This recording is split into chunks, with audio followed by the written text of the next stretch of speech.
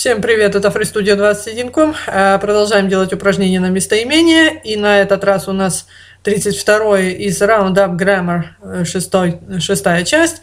Э, здесь надо поставить all, поставить every, потом самое загадочное, наверное, one, а также once, что в принципе то же самое, множественное число от one, или же еще местоимение whole. whole. Итак, э, значит, я внизу поставила ссылку, естественно, на теорию, на два видео. Э, про all и whole это одно, про every, one и once это другое. А, значит, э, ну, первое тут, естественно, сделали за нас. Mary has three sisters, all of whom look like her. Значит, у Мэри три сестры, и все они похожи на нее. Значит, все они. Если дословно, все из которых. Вот так вот. Ну, если дословный перевод. Э, да, здесь все, потому что это обобщающее, потому что здесь стоит off. Хотя, в принципе, every тоже может иногда ставиться с off. Но в данном случае у нас обобщение, поэтому мы ставим all. Далее, choose a cake. Which, чего-то там, would you like? И у нас, э, возможно, на первый взгляд кажется, ну, что Бог его знает, что здесь ставить. Э, значит, э, помним, что после whole и all у нас ставится что? Правильно, существительное. После every у нас тоже ставятся существительные. Здесь мы существительного нигде не видим. Их нет. Would you like это не существительные. А нам требуется что? Нам требуется какое-то такое слово, которое бы у нас, ну как, было главным героем предложения, что ли, или как. И у нас на это слово претендует слово one. One. Выбери, выбирай себе пирожное, которое ты бы хотел. Здесь вместо слова one можно было бы поставить слово cake. Можно было бы сказать which cake would you like? Но это будет тавтология. Повторение одного и того же не очень красиво. Поэтому one прекрасный заменитель местоимения или существительного для того, чтобы не повторяться. Далее. I can't decide whether to go to Italy, France or Germany.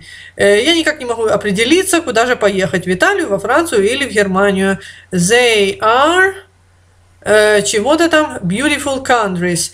И здесь э, я думаю, что здесь таки будет all, потому что здесь опять обобщение, они все красивые, все эти страны красивые, поэтому я ставлю all.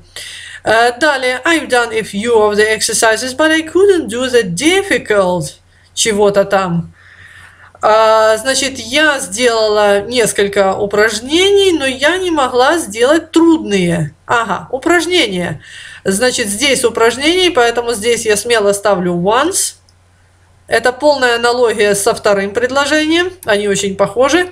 Здесь опять же заменитель слова exercises, чтобы второй раз его не ставить. Поэтому ставим once. Once, потому что множественное число exercises тоже было множественное число, мы его заменяем.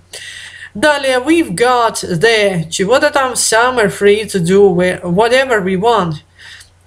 У нас чего-то там лето, и мы можем делать все, что хотим. Так, что у нас здесь? У нас есть, у меня есть искушение поставить all. Но я не хочу ставить all. И даже не потому, что у меня all уже было два раза. А потому что... Почему, почему, почему? У меня есть, у нас есть целое лето или все лето. У нас есть все лето или у нас есть целое. Целое лучше звучит. Поэтому я подвожу вас к тому, что здесь должно стоять whole. The whole summer. Какой аргумент еще в пользу whole? Дело в том, что здесь стоит определенный артикль.